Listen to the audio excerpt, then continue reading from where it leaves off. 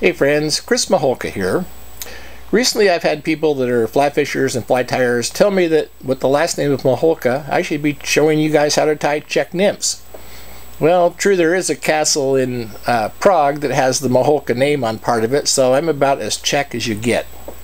So today I'm going to teach you how to tie a real simple pattern to use on rivers, and it's a great one for out west. It's a Czech style tie, but it's a caddis larva. So let's get started on this. To tie this, we're going to use some 400 BL hooks. They're called a jig nymph hook. They're actually just an up eye, severe up eye made for Czech nymphs. To get some weight on it and to make the bead work, we're going to use some 3 millimeter tungsten. These will get the fly down quick to the bottom where you want to be, and they're slotted, and that has a very important uh, function. I'll show you that here in just a moment. We're going to use some insect green. Uh, this is just a, pretty much an Antron of any brand you want to get. Um, dubbing, it's uh, caddis green or insect green. use a strand or two of peacock herl. We're going to be tying with uh, black unithread 8-aught. The system of Czech nymphing, or European nymphing as it's known everywhere, is uh, that your fly is on the bottom bouncing along you're using a very short leader that your short line and leader that you can watch the fly and the tension as it goes along the bottom to detect a strike.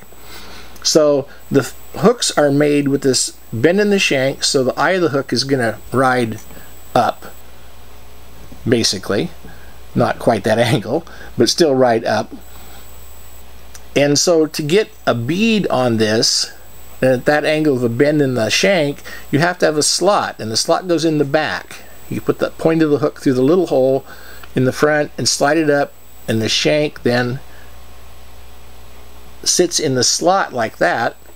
So the bead makes it around the bend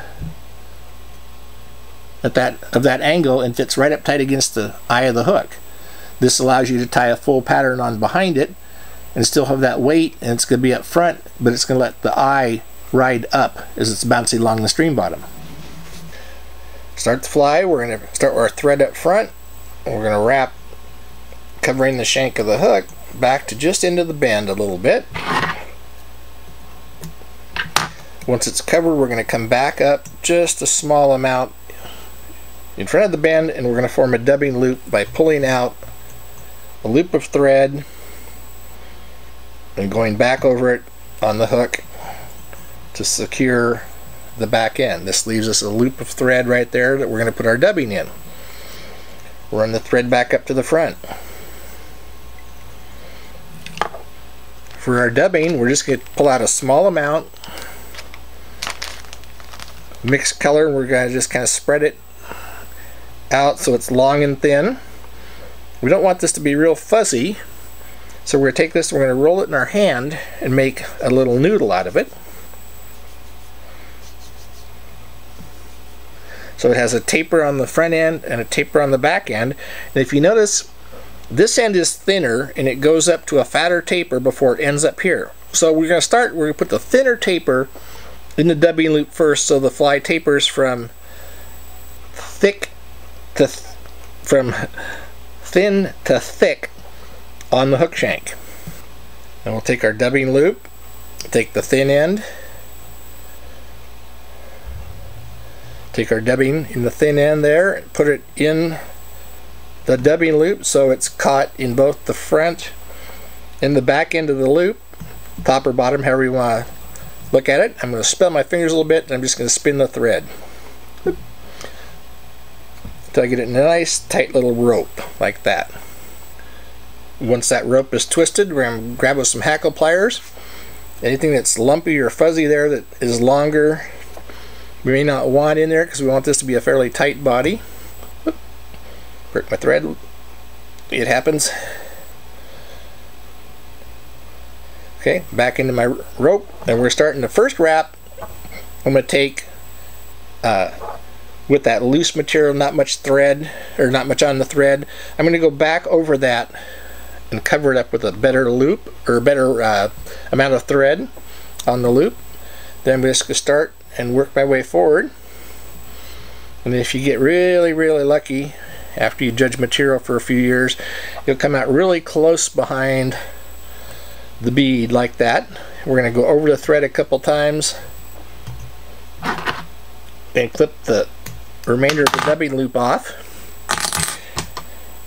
Now, if you see a lot of material on there that's real fuzzy that you don't like, it's too fuzzy, we can just go in real easily and trim it, but we don't want to trim it real tight. We want to leave it a little fuzzy. Next, we're going to take one of our pieces of peacock herl, break off the real fine point to where we get down to this good fuzzy stuff. I'm going to tie it in by the tip. The base of it that came off the feathers down there, I'm going to tie it in by the tip because I like the way it wraps better when it's tied in by the tip. Gives you more of a fuzzy type hackle. Then we'll take our hackle and just start and wrap it. You can go back and forth over it a couple times. You want to just fill in the area behind the bead really nicely with this fuzzy material. And then end right behind the bead. You got to watch because sometimes these slots on the beads can be a little sharp so I use care when you're wrapping that thread over the back of your hackle or back of your uh, peacock herl. Clip off the last of it. A couple wraps just to make sure it's secure. Then I'm just going to do a couple half hitches in there. Clip the thread. Now I'm going to put a good drop of a lacquer type head cement on this because several reasons. One, I want to secure the thread from coming unwrapped and untied, but also peacock herl can be fairly brittle. So I'm just going to put a drop of lacquer on the peacock herl and the thread right in the slot there. Just let that soak in and dry. You won't even see it as a uh, cement on there. The fly now, because of the weight, is going to ride on the on the leader and on the stream in the stream bottom like that? Line coming down to it you won't get snagged and it will be on the bottom.